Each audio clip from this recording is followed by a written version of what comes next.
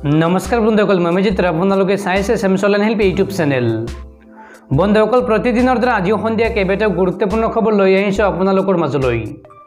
খুবেই এতিয়া গুৰুত্বপূৰ্ণ ভিডিঅ' আপোনালোকে ভিডিঅ'টো শেষলৈ চাই থাকিব। আৰু বন্ধুসকল যদি এতিয়ালৈকে এইটো ভিডিঅ'ত লাইক কৰা নাই তেন্তে প্লিজ এটা লাইক কৰি দিয়ক। আৰু এনেকুৱা ধৰণৰ নতুন নতুন ভিডিঅ' পাবলৈ চেনেলটো ছাবস্ক্ৰাইব কৰি কাষত থকা বেল আইকনটো প্ৰেছ কৰি ৰাখক। যাতে যেতিয়াই মই যিবোৰ ভিডিঅ' আপলোড কৰোঁ তাৰ নটিফিকেশ্যন মই সকলোতকৈ আগত আপোনাৰ মোবাইলত যায়। বন্ধুসকল প্ৰথম খবৰটিয়ে হৈছে উচ্চতম ন্যায়ালয়ৰ পঞ্চাছ শতাংশতকৈ অধিক ষ্টাফ কৰোণা পজিটিভ ঘৰৰ পৰাই কাম কৰিব ন্যায়াধীশে। দেশত কৰোণা ভাইৰাছৰ সংক্ৰমণ দিনক দিনে বৃদ্ধি পাইছে। প্ৰতিদিনে অভিলেখ কৰিছে কৰোণাত আক্ৰান্ত লোকৰ সংখ্যাই। ইয়াৰ মাজতে উচ্চতম ন্যায়ালয়ৰ পৰা আহিছে এক ডাঙৰ খবৰ। সূত্ৰ অনুসৰি উচ্চতম ন্যায়ালয়ৰ পঞ্চাছ শতাংশতকৈ অধিক ষ্টাফ কৰোণাত আক্ৰান্ত হৈছে। ফলত উচ্চতম ন্যায়ালয়ত হ'বলগীয়া সকলো শুনানি এতিয়া ভিডিঅ' কনফাৰেন্সিঙৰ যোগেদি কৰা হ'ব। সকলো ন্যায়াধীশে ঘৰৰ পৰাই কাম কৰিব। জানিব পৰা মতে সমগ্ৰ উচ্চতম ন্যায়ালয়ৰ চৌহদ চেনিটাইজ কৰা হৈছে। ন্যায়ালয়ৰ ৰুমসমূহ কৰা হৈছে চেনিটাইজ। কৰোণা ভাইৰাছৰ বাবে এতিয়া বিভিন্ন পীঠ এতিয়া নিৰ্ধাৰিত সময়তকৈ এঘণ্টা পলমকৈ বহিব আৰু শুনানি গ্ৰহণ কৰিব।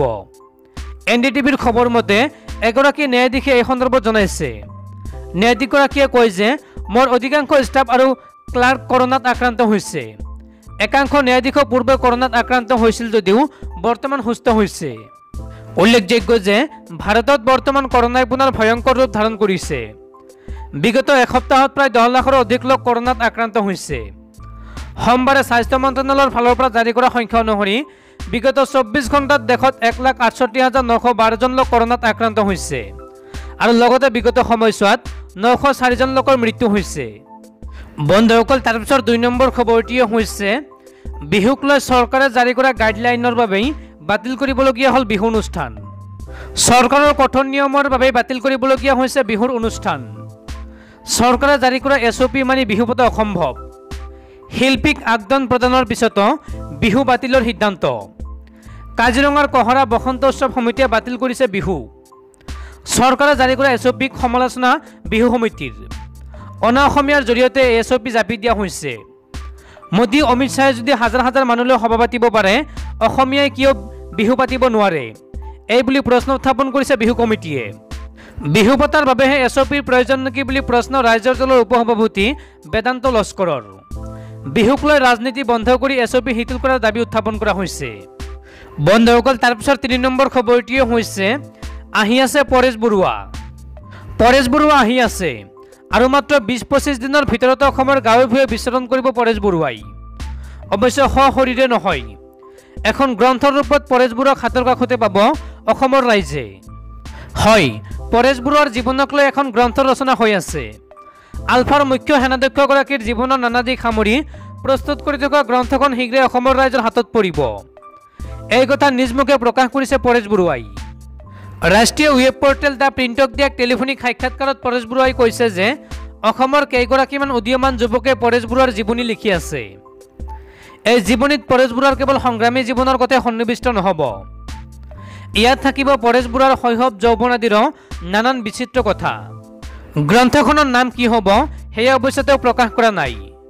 এটা সময়ত পৰেশ বৰুৱা এগৰাকী ভাল ফুটবল খেলুৱৈ আছিল। অইল ইণ্ডিয়াৰ সৈতে ফুটবল খেলিছিল। কিন্তু স্বজাতি আৰু স্বদেশৰ স্বাৰ্থ সুৰক্ষিত কৰাৰ বাবে তেওঁ সহস্ৰ বিপ্লৱৰ কাইটীয়া পথত ভৰি দিছিল। নানান ঘাত প্ৰতিঘাতৰ মাজেৰে তেওঁ সেই সংগ্ৰামৰ ধাৰা আজিও অব্যাহত ৰাখিছে। ৰাষ্ট্ৰীয় ৱেব পৰ্টেলটোক দিয়া সাক্ষাৎকাৰত পৰেশ বৰুৱাই কৈছে যে সত্যবোৰ সত্য হিচাপে উপস্থাপন কৰিলেহে মানুহে সেয়া আদৰি ল'ব। সেয়ে এদল যুৱকে লিখি থকা তেওঁৰ জীৱনীখনত সকলো কথাই সত্যৰ ৰূপত উপস্থাপন কৰা হ'ব। যাতে অসমৰ ৰাইজে তাক বিশ্বাসেৰে আদৰি লয়। গ্ৰন্থখনৰ কাম এতিয়াৰ পৰা শেষ পৰ্যায়ত থকা বুলি উল্লেখ কৰি পৰেশ বৰুৱাই কৈছে যে এমাহ বা বিছ দিনৰ ভিতৰত গ্ৰন্থখন ৰাইজৰ মাজলৈ উলিয়াই দিব পৰা যাব।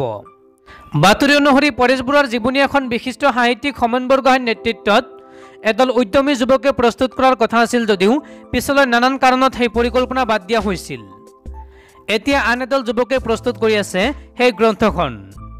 পৰেশ বৰুৱাৰ জীৱনীখনে ব্যাপক সঁহাৰি লাভ কৰিবলৈ সক্ষম হ'ব বুলি ধাৰণা কৰা হৈছে। বন্ধুসকল তাৰপিছত চাৰি নম্বৰ খবৰটিয়ে হৈছে কৰোণা ভাইৰাছৰ বৰ্ধিত সংক্ৰমণৰ প্ৰতি লক্ষ্য ৰাখি মুখ্যমন্ত্ৰী সৰ্বানন্দ সোণোৱালৰ জৰুৰী বৈঠক। ৰাজ্যত নাটনি হোৱা নাই কভিড ভেকচিনৰ। আজি ডিব্ৰুগড়ত সংবাদ মাধ্যমৰ আগত এই কথা স্পষ্ট কৰি দিছে মুখ্যমন্ত্ৰী সৰ্বানন্দ সোণোৱালে। অসম চিকিৎসা মহাবিদ্যালয়ত এখন বৈঠকত অংশগ্ৰহণৰ পিছতেই সোণোৱালে কভিড ভেকচিন নাটনি হোৱা বুলি যি চৰ্চা হৈছিল সেয়া পঞ্চায়তে নাকচ কৰে। তেওঁ কয় যে কভিড প্ৰতিষেধক নাটনি হোৱা নাই। ভেকচিন দি থকা হৈছে। ভেকচিন ল'বলৈ জনসাধাৰণ আগবাঢ়ি আহিব লাগিব। সহযোগ কৰিব লাগিব। মুখ্যমন্ত্ৰীয়ে সকলোকে সজাগ সচেতন হৈ থকাৰ বাবে আহ্বান জনায় তেওঁ কয় যে বিগত বৰ্ষত অসমৰ ৰাইজে শৃংখলাবদ্ধভাৱে কভিডৰ বিৰুদ্ধে যি যুঁজ দিছিল সেয়া দেশৰ ভিতৰতে ভাল উদাহৰণ আছিল। এইবাৰো সমাজৰ সকলো শ্ৰেণীয়ে নিজৰ দায়বদ্ধতা দেখুৱাব লাগিব। ইয়াৰ উপৰিও আগন্তুক ৰঙালী বিহুত স্বাস্থ্য বিভাগে বান্ধি দিয়া নীতি নিৰ্দেশনাসমূহ মানি চলিবলৈ ৰাইজৰ প্ৰতি আহ্বান জনায় মুখ্যমন্ত্ৰী সৰ্বানন্দ সোণোৱালে। উল্লেখযোগ্য যে কভিড পৰিস্থিতিৰ সন্দৰ্ভত ডিব্ৰুগড় অসম চিকিৎসা মহাবিদ্যালয়ৰ কৰ্তৃপক্ষৰ সৈতে মুখ্যমন্ত্ৰী সৰ্বানন্দ সোণোৱালৰ গুৰুত্বপূৰ্ণ বৈঠক অনুষ্ঠিত হয়। বন্ধুসকল তাৰপিছৰ পাঁচ নম্বৰ খবৰটিয়ে হৈছে ভাল খবৰ। হ্ৰাস পাব পেট্ৰলৰ মূল্য। অতি শীঘ্ৰে প্ৰতি লিটাৰ পেট্ৰলৰ মূল্য হ'ব পঁচাত্তৰ টকা। পেট্ৰল ডিজেলৰ মূল্যৰ পৰা বৰ্তমান সামান্য পৰিমাণে সকাহ লাভ কৰিছে সাধাৰণ জনতাই। আজি দিল্লীত প্ৰতি লিটাৰ পেট্ৰলৰ মূল্য নব্বৈ দশমিক ছাপ্পান্ন টকা আৰু ডিজেলৰ মূল্য প্ৰতি লিটাৰত আশী দশমিক সপ্তাশী টকা। দেশৰ ৰাজধানী চহৰকে ধৰি সকলো মহানগৰতে একেৰাহে তেৰটা দিনৰ বাবে ইন্ধনৰ মূল্যত কোনো ধৰণৰ সাল সলনি হোৱা নাই। ইফালে আন্তঃৰাষ্ট্ৰীয় বজাৰত খাৰুৱা তেলৰ মূল্য সপ্তাহৰ আৰম্ভণিৰ দিনটোত সামান্য বৃদ্ধি দেখা পোৱা গৈছিল। বিগত মাহৰ চৌব্বিছ আৰু পঁচিছ মাৰ্চত পেট্ৰল আৰু ডিজেলৰ মূল্য কিছু সস্তা হৈছিল। আৰু ইয়াৰ পিছতে ত্ৰিছ মাৰ্চত পুনৰ মূল্য হ্ৰাস হৈছিল। মাৰ্চ মাহৰ এই তিনিদিনত প্ৰতি লিটাৰত মুঠ এষষ্ঠি পইচা হ্ৰাস পাইছিল পেট্ৰলৰ মূল্যত। বিশেষজ্ঞসকলৰ মতে পেট্ৰল আৰু ডিজেলক সামগ্ৰী আৰু সেৱকৰ জি এছ টিৰ অধীনলৈ আনিলে সাধাৰণ জনতাই ইন্ধনৰ এই উচ্চ মূল্যৰ পৰা সকাহ পাব পাৰে। জি এছ টিৰ বাবে পেট্ৰলৰ মূল্য প্ৰতি লিটাৰত পঁচাত্তৰ টকালৈকে হ্ৰাস পাব পাৰে। আৰু ডিজেলৰ মূল্য প্ৰতি লিটাৰত আঠষষ্ঠি টকালৈকে হ্ৰাস পাব পাৰে। বন্ধুসকল তাৰপিছত ছয় নম্বৰ খবৰটিয়ে হৈছে অসমত পুনৰ দ্ৰুতগতিত বৃদ্ধি পাই আছে কৰোণা ভাইৰাছত আক্ৰান্ত হোৱা আৰু মৃত্যু হোৱা লোকৰ সংখ্যা। অসমত বিগত চৌব্বিছ ঘণ্টাত নতুনকৈ তিনিশ বাৱন্নগৰাকী লোকৰ দেহত ধৰা পৰিছে ক'ভিড নাইণ্টিন পজিটিভ। ৰাজ্যত কৰোণাৰ সংক্ৰমণৰ গতি উদ্বেগজনকভাৱে বৃদ্ধি পাবলৈ লৈছে। কৰোণাৰ দ্বিতীয়টো ঢৌ আৰম্ভ হোৱা ৰাজ্যখনত দেওবাৰে নতুনকৈ তিনিশ বাৱন্নগৰাকী লোক কৰোণাত আক্ৰান্ত হৈছে। আনহাতে ৰাজ্যখনত কৰোণাত আক্ৰান্ত হৈ এগৰাকী লোকৰ মৃত্যু হৈছে। কৰোণাত আক্ৰান্ত হৈ মৃত্যু হোৱা লোকগৰাকী লখিমপুৰৰ বন্ধুসকল তাৰপিছত সাত নম্বৰ খবৰটিয়ে হৈছে চকুটিপ বা দূৰৰ পৰা ছোৱালীক চুমা যাচিলেও এবছৰৰ জেলৰ লগতে হ'ব পাৰে জৰিমনা। ওঠৰ বছৰ বয়সৰ তলৰ কোনো ছোৱালীলৈ চাই চকুটিপ মৰা বা আঁতৰৰ পৰাই চুম্বন কৰিলেও গুৰুতৰ অপৰাধ হিচাপে গণ্য কৰা হ'ব। তেনে কৰা লোকসকলক দৃষ্টান্তমূলক শাস্তি প্ৰদান কৰিব আদালতে। পক্সো আইনৰ অধীনত দোষী সাব্যস্ত কৰি এনে লোকক কাৰাবাসৰ লগতে দহ হাজাৰ টকা পৰ্যন্ত জৰিমনা হ'ব পাৰে। শেহতীয়াকৈ মুম্বাইৰ এখন বিশেষ আদালতে চৈধ্য বছৰীয়া এগৰাকী কিশোৰীক যৌন উৎপীড়ন চলোৱাৰ অভিযোগত দোষী সাব্যস্ত কৰি এটা বছৰৰ জেলৰ লগতে দহ হাজাৰ টকাৰ জৰিমনা বিহিছে। ন্যায়াধীশ ভাৰতী কালৰ বিশেষ বিচাৰপীঠে বিছ বছৰীয়া যুৱকজনক পক্সো আইনৰ অধীনত দোষী সাব্যস্ত কৰে। উল্লেখযোগ্য যে কিশোৰীগৰাকীলৈ যুৱকজনে চকুটিপ মৰাৰ লগতে আঁতৰৰ পৰা যাচিছিল চুম্বন। এই ঘটনাক কেন্দ্ৰ কৰি আদালতে এই ব্যৱহাৰক যৌন উৎপীড়ন হিচাপে গণ্য কৰি যুৱকজনক শাস্তিৰ লগতে বিহিছে জৰিমনা।